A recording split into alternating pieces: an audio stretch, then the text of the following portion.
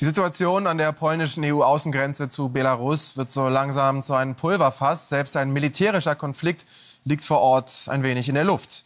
Sowohl die polnische als auch die belarussische Seite warnen sich gegenseitig vor Provokationen. Gleichzeitig droht eine humanitäre Katastrophe, weil tausende Flüchtlinge im Grenzgebiet ohne Nahrung festsitzen. Das deutsche Innenministerium fordert die Europäische Union auf, Polen mit der Situation nicht alleine zu lassen. Um illegale Einreisen zu verhindern, hat Deutschland seine Kontrollen an der Grenze zu Polen ausgeweitet. Sebastian Plattwitz.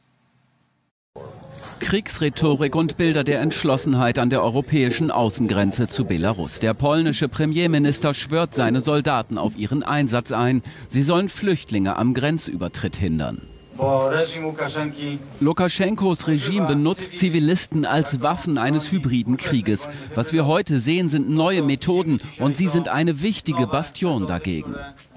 Eine gefährliche Lage, denn auf der anderen Seite des Zauns marschieren laut polnischen Behörden immer mehr belarussische Sicherheitskräfte auf.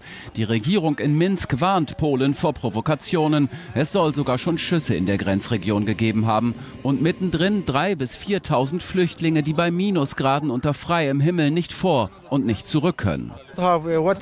Wir haben kein Wasser und kein Essen. Wie lange sollen wir hier warten? Viele hier stehen kurz davor, wegen Kälte, Hunger und all dem zu sterben. Die EU wirft dem belarussischen Präsidenten Lukaschenko vor, die Flüchtlinge direkt aus Afghanistan, Irak oder Syrien nach Minsk zu fliegen, um sie dann an die EU-Grenze zu bringen. Viele von ihnen wollen weiter nach Deutschland, wo jetzt schon an der Grenze zu Polen verstärkt kontrolliert wird. Das deutsche Innenministerium fordert Warschau mit Kräften der EU-Grenzschutzagentur Frontex zu unterstützen. Die Intention von Lukaschenko ist doch ganz konkret, mit diesen Migranten einen Spaltpilz in die gesamte Europäische Union zu setzen, die Europäische Union zu destabilisieren. Und deswegen bedarf es einer äh, konsequenten Antwort der gesamten Europäischen Union. Einige EU-Staaten verdienen allerdings sogar an dem Konflikt, denn die belarussische Airline, die die Flüchtlinge nach Belarus transportiert, mietet ihre Flugzeuge teilweise beim EU-Mitglied Irland.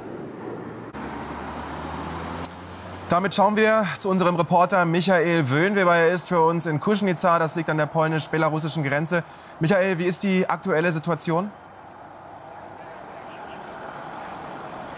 Also zuerst einmal ist das relativ schwer zu beurteilen äh, von hier aus, denn wir kommen hier nicht weiter über diese Straße. Die polnische Regierung hat eine Schutzzone oder wie man es dann auch nennen mag, Betretungsverbotszone wohl besser eingerichtet, äh, die von der Grenze bis vier Kilometer hierhin reicht. Das Betreten ist für diejenigen, die nicht in diesem Gebiet leben, verboten. Es kostet äh, hohe Strafen bis hin der Androhung, dass man eine Nacht im Gefängnis verbringt bringt. Also das wäre sehr ungemütlich, also weiterzufahren. Wir sind da also auf Informationen angewiesen, die uns zugeliefert werden aus dieser Schutzzone beziehungsweise äh, dann auch vom belarussischen äh, Telegram-Kanal, Oppositionskanal, die immer äh, wieder dann auch per Twitter die Situation beschreiben. Und die Situation, die ist offensichtlich tatsächlich extrem prekär. In der letzten Nacht waren es minus zwei Grad. Es gibt keine Verpflegung, es gibt keine wirkliche Unterkunft. Und das Letzte, was wir gesehen gesehen haben, dann auch an Bildern ist, dass offensichtlich Migranten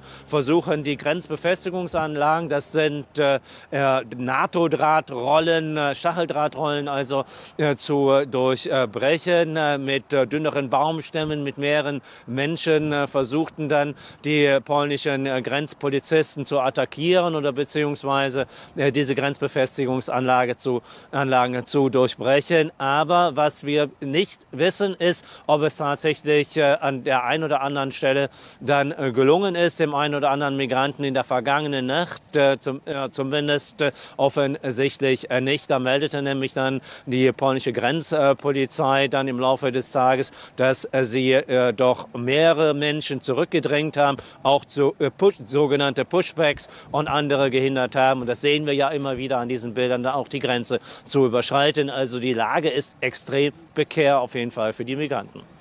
Und der Druck wächst. Wie wird Polen jetzt reagieren? Was denkst du, Michael?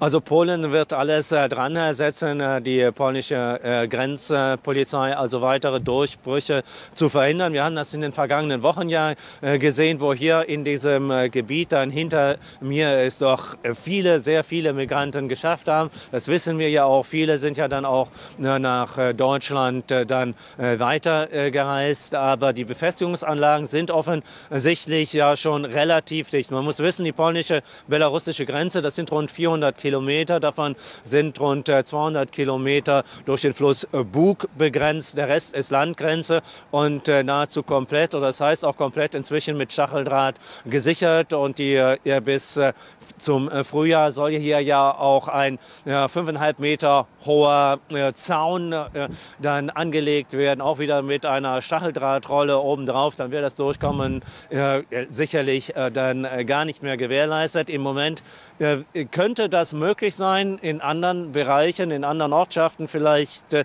entlang dieser äh, Landgrenze nach offiziellen Angaben in der vergangenen Nacht war diese Grenze allerdings dicht. Die Frage ist, ob es vielleicht nicht doch Migranten geschafft haben. Äh, das kann ich im Moment also überhaupt nicht beurteilen. Offiziell, wie gesagt, ist die Grenze dicht. Vielen Dank für deine Einschätzungen aus Kuschnitzer. Danke, Michael Wöhnweber.